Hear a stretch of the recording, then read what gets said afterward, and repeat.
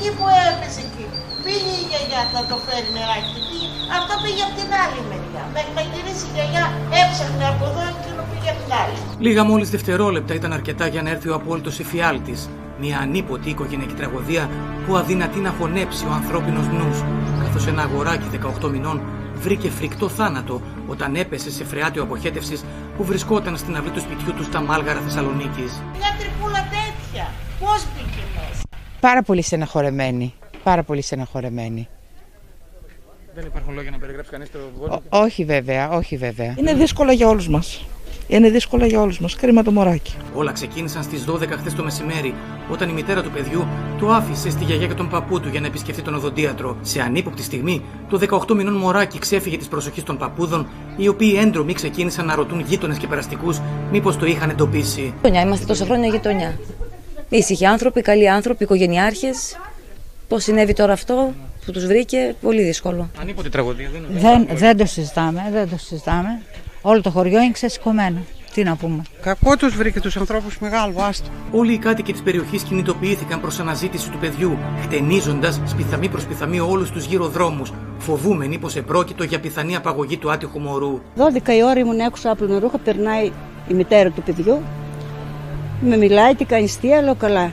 Εσείς λέω τι κάνει ο πέδερος, για το μωρό εννοούσα. Λέει το έχω στη μαμά μου και πηγαίνω να το πάρω. Από εκεί και πέρα μπήκα μέσα, δεν είδα τίποτα.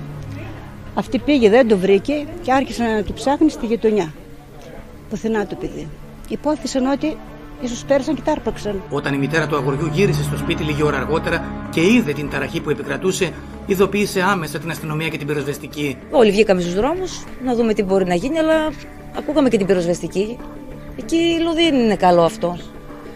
Και μετά μάθαμε ότι βρέθηκε πνιγμένο. Όταν οι αναζητήσεις στη γύρω περιοχή δεν απέδωσαν καρπούς, τότε οι έρευνες στράφηκαν στο βόθρο που βρίσκεται στην αυλή του σπιτιού.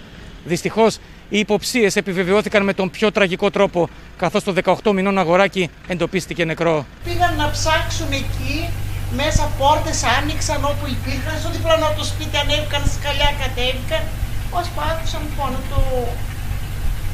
Στο άλλο το εικόνα του φώναξαν, έλα ρε και τον βρήκαμε. Κάλεσαν την πυροσβεστική και ήρθε ο βορθοκαθαριστής, αδειάζουν το βόθρο και το βρήκαν μέσα το παιδί. Αυτό ήταν. Το ψάχναν μέσα στην αυλή, στο σπίτι, έχουν μεγάλο σπίτι. Και ύστερα όταν ήρθε η αστυνομία, λέει αυτή η τρύπα τι είναι, λέει. Με τη συνδρομή πυροσβεστών και τη βοήθεια ειδικού στι αποφράξει αποχετεύσεων, το 18 μηνών αγγελούδι ανασύρθηκε νεκρό. Είδηση που έπεσε ως κεραυνός ενεθρία σε όλο το χωριό, με τους κατοίκους των Μαλγάρων να μην μπορούν να πιστέψουν το κακό που βρήκε την οικογένεια και να δηλώνουν θλιμμένοι και συγκλονισμένοι από τον άδικο χαμό του μωρού. Είναι τραγικό ότι δεν υπάρχουν λόγια. Είναι τραγικό πραγματικά ότι στο χειρότερο φιάλτη. Εύχομαι ο Θεός να δώσει να το ξεπεράσουν οι γονείς και οι παππούδες. Πνίγηκε και ένα παιδάκι. Τώρα πώς και τι δεν ξέρουμε. Άλλοι είναι αρμόδιοι. Αλλά λυπηθήκαμε πάρα πάρα πολύ. Φως στις συνθήκες κάτω από τις οποίες το αγοράκι έχασε τη ζωή του, επιχειρεί να δώσει η έρευνα των αρχών. Ενώ για το συμβάν ενημερώθηκε η εισαγγελέας, η οποία έδωσε εντολή στην αστυνομία να συλλέξει το προανακριτικό υλικό.